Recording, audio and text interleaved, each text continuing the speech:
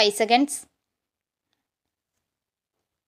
get ready start மாண்புமிகு பேரவை துணை தலைவர் அவர்களே தொழில் மற்றும் தொழில் வளர்ச்சி குறித்த மானிய கோரிக்கையின் மீது எனது கருத்துக்களை கூற வாய்ப்பளித்தமைக்காக நெஞ்சார்ந்த நன்றியை கூறிக்கொள்கிறேன். எந்தவொரு நாடானாலும் மாநிலமானாலும் தொழில் துறையில் முன்னேற்றமும் மறுமலர்ச்சியும் காண வேண்டுமென்றால் சட்டம் ஒழுங்கை நிலைநாட்டி சீரான ஆட்சியை நடத்தும் திறமை மிக்கதொரு அரசாக இருக்க வேண்டும்.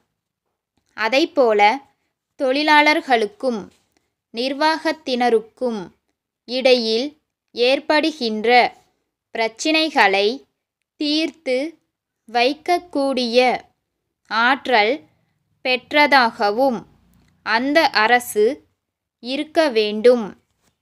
இந்தியாவின் தற்போதுள்ள சூழ்நிலையில் தமிழ்நாடுதான் அமைதி பூங்காவாக விளங்குகிறது. தொழில் முனைவர்கள் ஆர்வத்துடன் தொழில் தொடங்க முன் வருகின்றனர். இதனால் வேலை வாய்ப்புகள் பெருகுவதோடு நாட்டின் பொருளாதாரத்திலும் வளர்ச்சியை காண முடிகிறது. இந்த வியத்தகு சாதனையை புரிந்த மாண்புமிகு முதலமைச்சர் அவர்களை இந்த நேரத்தில் நான் பாராட்ட கடமைப்பட்டிருக்கிறேன். பொதுத்துறை நிறுவனங்கள் பலவற்றை நம்முடைய அரசு தொழில்துறை மூலம் ஏற்படுத்தியுள்ளது. மகிழ்ச்சிக்குரியதாக உள்ளது. அந்த தொழில்களை தொடங்க பல்வேறு தொழில் முதலீட்டு நிறுவனங்கள் கோடிக்கணக்கான ரூபாயை கடனாக வழங்கியுள்ளன.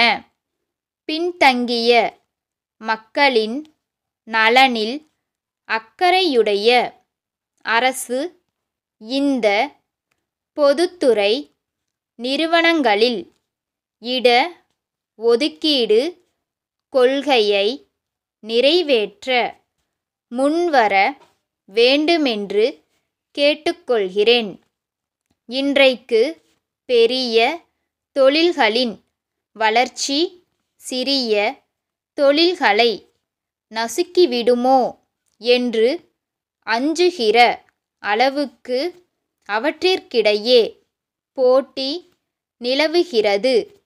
இதனால் சில சிறு தொழில்கள் மூடிவிடும் அபாயம் கூட நிலவுகிறது.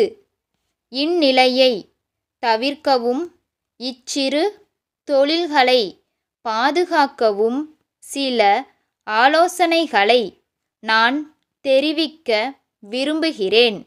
சிறு தொழில்களுக்கு வழங்கப்பட்டுள்ள குறுகிய கால கடனை நீண்ட கால கடனாக மாற்ற வேண்டும். மின்சார கட்டணத்தில் சலுகை அளிக்க வேண்டும். சிறு தொழில்கள் பயன்படுத்தும் மூலப்பொருள்களை அரசே கொள்முதல் செய்து மானிய விலையில் வழங்க வேண்டும்.